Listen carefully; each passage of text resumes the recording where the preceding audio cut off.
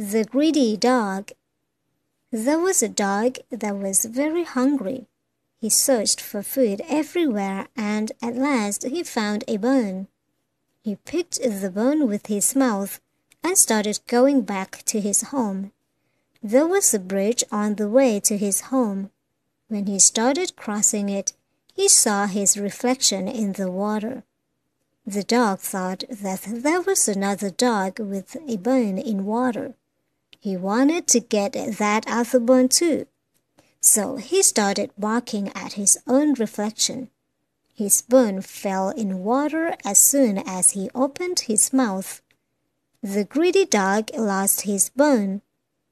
Moral of the story Don't be greedy ค่ะ แล้วเจอกันใหม่ในคลิปหน้านะคะ สวัสดีค่ะ